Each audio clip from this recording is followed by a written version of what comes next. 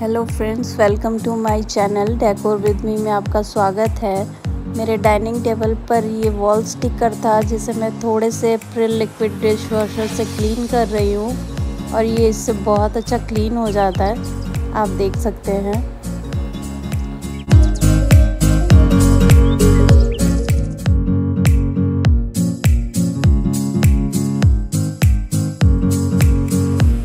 Video को subscribe किए बिना मत जाइएगा प्लीज़ तो मिलते हैं नेक्स्ट वीडियो में। Till then bye take care